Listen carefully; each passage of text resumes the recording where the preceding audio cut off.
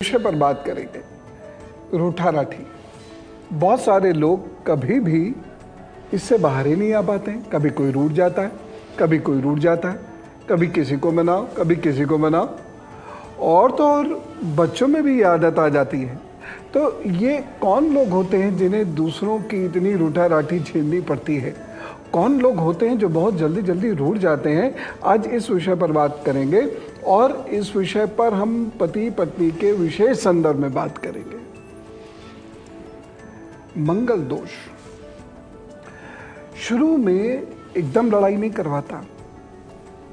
ये पहले रूठा राठी से बात शुरू होती है। जरा सी बात पे बिदक गए। बहुत बहुत गुस्सा बहुत गुस्सा बहुत गुस्सा। कारण क्या? दाल में नमक कम था। इवन शादी से पहले भी जब मान लीजिए प्रेम संबंध होता है या शादी तय होने से होने के बीच का जो कोर्टशिप पीरियड होता है, उस समय भी जब सबसे ज़्यादा आनंद लेना चाहिए बच्चों को, उस वक्त में भी फ़ोन पर रूठा राठी होती है, लड़ाई हो जाती है छोटी छोटी बातों पर लड़ाई हो जाती है।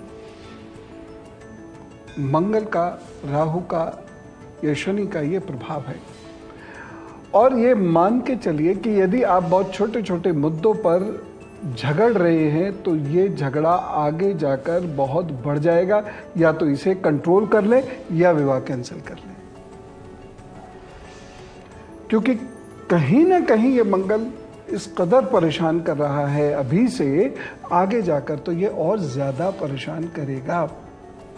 क्योंकि एक वक्त आता है जब मनाने वनाने का ज़्यादा मन नहीं करता। रूट गए तो जाओ तुम, ठीक है।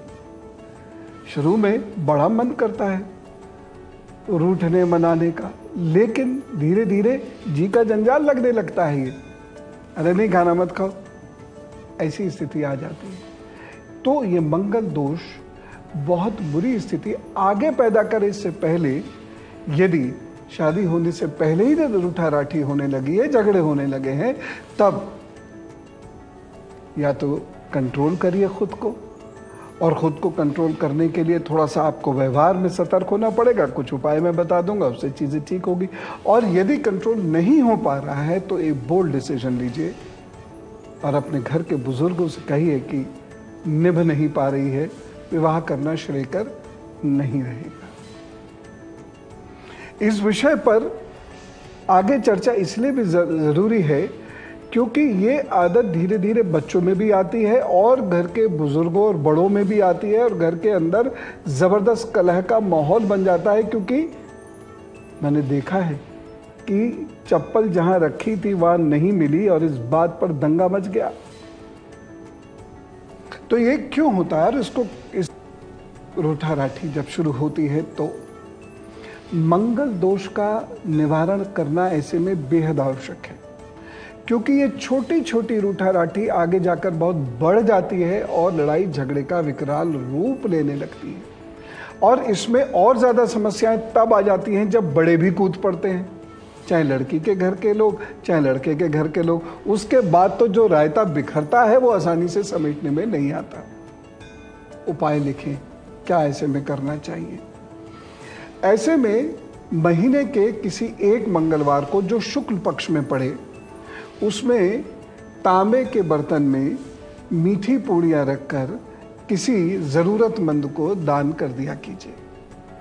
और साथ ही साथ कांच के बर्तन में दूध का दान भी कर दिया कीजिए। ये उपाय करने से चीज़ें बहुत अच्छी होंगी, बहुत बेहतर होंगी। दूसरी चीज़, ऐसे में आपको क्या करना चाहिए? दही से तिलक कर कर सोना चाहिए। दिखाई नहीं देता। दही का तिलक ऐसे आप लगाएँगे, वह दिखाई नहीं देता। लेकिन ये लाभ बहुत देने लगता है। कुछ ऐसा रूठना भी होता है कि लोग घर तक छोड़कर जाने की बात करते हैं। आज का माहौल तो ऐसा हो गया है कि लोगों के मन में पता नहीं क्या चलता रहता है, उनकी स्टेट ऑफ़ डिप्रेशन क्या है, वो ज़िंदगी छोड़ने की बात करने लगते हैं। तो वहाँ क्या उपाय करने होंगे, या वहाँ क्या प्रिकॉशंस लेने होंगे, इसके विषय में बात कर रहा हूँ। मैं बात बहुत गंभीर कर रहा हूँ, इसलिए बहुत ध्यान से सुनिएगा। लेकिन इससे पहले और हम बात कर रहे हैं, जब ये रूठा राठी बहुत बढ़ जाती है तो ये बड़े झगड़े का रूप ले लेती है। एक छोटा सा उपाय बता रहा हूँ। ऐसे सारे लोग, या मंगलवार या बुधवार, मूंग की दाल का दान ज़रूर कर दिया करें। पति पत्नी अलग अलग करेंगे तो ज़्यादा अच्छा रहेगा। ये दान ज़रूर कर दिया करें। और दूसरी चीज़ ये है, या तो वर्ष में एक बार किसी को बकरी गिफ्ट कर दें जो ज़रूरतमंद हो, या फिर यदि आपके पास इतना धन नहीं है तो जो व्यक्ति बकरी खरीदना चाहता है और पालना चाहता है, पालने के पॉइंट ऑफ़ व्यू से यदि लेना चाहता है तो जो मदद आपसे बन पड़े उसकी कर दीजिएगा, हृदय से कर दीजिएगा। फ़िल्मों में बड़ा अच्छा लगता है रूठना मनाना बहुत सारे गीत इसके ऊपर होते हैं। कोई पहले रूठ जाता है तो दूसरा गाना गाता है और गाने के अंत तक आते आते पहला मान जाता है। लेकिन आम ज़िंदगी में ऐसा नहीं होता है। और एक दो बार हो जाए तो हो जाए, लेकिन सामान्यता ऐसा नहीं होता और लंबे समय तक तो ऐसा कतई नहीं होता। कुछ बहुत मज़ेदार कस्म के लोग होते हैं। वो अपना रूठना मनाना जारी रखते हैं और बहुत जल्दी अपने रोल में वापस आ जाते हैं। लेकिन ज़्यादातर लोग उसे हृदय से लगा लेते हैं और वो स्थिति ख़तरनाक होती है। तो यदि कोई व्यक्ति रूठ जाए, गुस्से में पगलाने लग जाए, वह कमियाँ निकालने लग जाए, चीखने चिल्लाने लग जाए तो ऐसे व्यक्ति से कुछ एक कार्य कराने शुरू कर दीजिए। रोज़ाना सुबह सफ़ेद कपड़े में, चाहे वो छोटा कपड़ा हो, रुमाल हो, जैसा भी हो, सफ़ेद कपड़े में उसको थोड़ी सी मिश्री देकर धर्म स्थल पर भेज दिया कीजिए। चाहे वो उसे वहाँ बांट दें, चाहे वो वहाँ पर पुरोहित जी को दे दें। यह एक नियम उनसे बनवा लीजिए और देखिएगा ये सामान्य सा उपाय है, लेकिन उनके जीवन में बहुत फ़र्क डालेगा। उनके साथ साथ उनके घर वालों के जीवन में भी और उनके व्यवसायिक जीवन में भी बहुत फ़र्क डालेगा, क्योंकि जो आदमी घर पर लड़ता है, हाल उसके उसके जॉब में भी ख़राब होते हैं, उसके ऑफ़िस में भी ख़राब होते हैं, उसके दुकान पर भी ख़राब होते हैं तो ये आपके व्यवसायिक जीवन में भी मिश्री खोलेगी।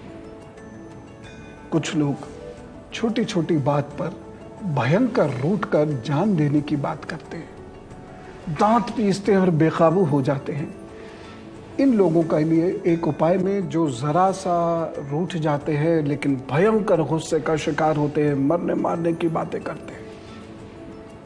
वैसे ऐसे लोगों को चिकित्सीय सलाह दिलवा देनी चाहिए, क्योंकि ये आगे जाकर एक रोग बन जाता है। जब हम छोटी सी बात पर भयंकर रिएक्ट करते हैं और चीखना शुरू करते हैं तो ये आगे जाकर निश्चित रूप से एक रोग बनता है। फ़िलहाल कुछ उपाय बता रहा हूँ, वो उपाय कीजिए। दही में थोड़ी सी हल्दी मिलाकर ऐसे लोगों को नियमित रूप से तिलक करना चाहिए। देखिए आप स्वयं भी तो अच्छा रहना चाहते हैं ना? इसीलिए स्वयं वो तिलक करना शुरू कीजिए, आपका क्रोध कम होना शुरू होगा। दूसरी चीज़, तांबा और चांदी मिलाकर एक कड़ा बनवा लीजिए और सोमवार को माता जी के हाथ से अपने दाहिने हाथ में उसको धारण कर लीजिए। एक और उपाय लिखिए ऐसे लोग जब भी घर से जाएँ, ज़रा सा मीठा और दही खा के जाएँ और जब भी घर को आए, थोड़ा सा मीठा लेके आए, चाहे टॉफ़ी ही लेकर आए, खाली हाथ ना आए। और आप देखना, आपके मन पर बहुत असर पड़ने लगेगा और जो ज़रा ज़रा सी बात पर छोटी सी रूठा राठी में जो भयंकर लड़ाई होने की संभावनाएँ होती हैं, वो कम होने लगेंगी।